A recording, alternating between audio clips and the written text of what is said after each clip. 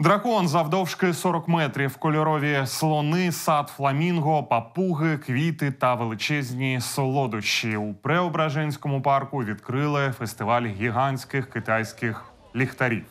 Загалом встановлено 30 світлових інсталяцій, які символізують різні сюжети казок. У перший день фесту відвідувачів також розважали майстри фаєр-шоу, танцювальні колективи та музики.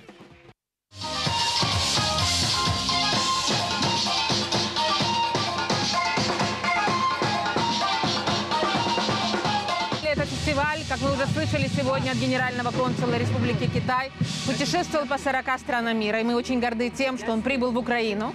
И Одесса – это один из первых городов, э, куда, в общем-то, э, мы пригласили и к нам, нам предложили принять этот проект. Порядка 30 разных зон у нас представлено в парке в Преображенском городе Одессе. Готовились мы к этому фестивалю еще с прошлого года. Этот фестиваль произвел фурор в городе Киеве. И мы посмотрели, почитали отзывы и решили приехать в Одессу и сделать такой тур по Украине.